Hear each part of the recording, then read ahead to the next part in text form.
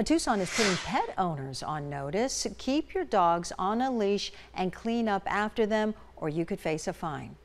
13 News reporter Catherine Patterson joins us live from Flowing Wells Park. Catherine, a lot of dogs out there right now?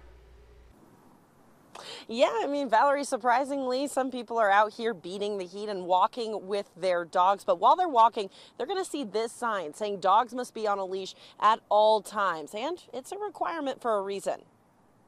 For years, John Dorame has been a dog dad of three. But one day, he almost lost one of them. My white dog, Dak, uh, we're just walking. He was on his leash. And this dog just out of nowhere comes out and gets him, rips his whole side. $6,000 later, Dak is still playing at the park. He would have been on a leash, I wouldn't have had to gone through that.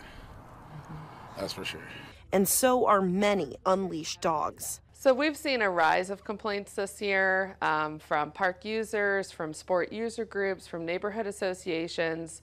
Uh, having dogs off leash um, really does strike a lot of fear in folks um, not only for the safety of their dogs, but for their children as well. The city of Tucson wants to help keep dogs safe with Leash Up Clean Up, reminding dog owners to keep your dog on a leash and clean up their waste. Their poop is not necessarily the best thing for the environment.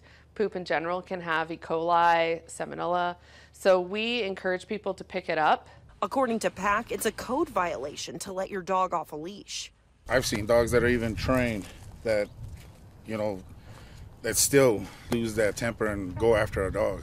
But they're working to educate, not citate. We want you to come to the park with your dog. We just want you and your dog to be safe, as well as the other park users in the park.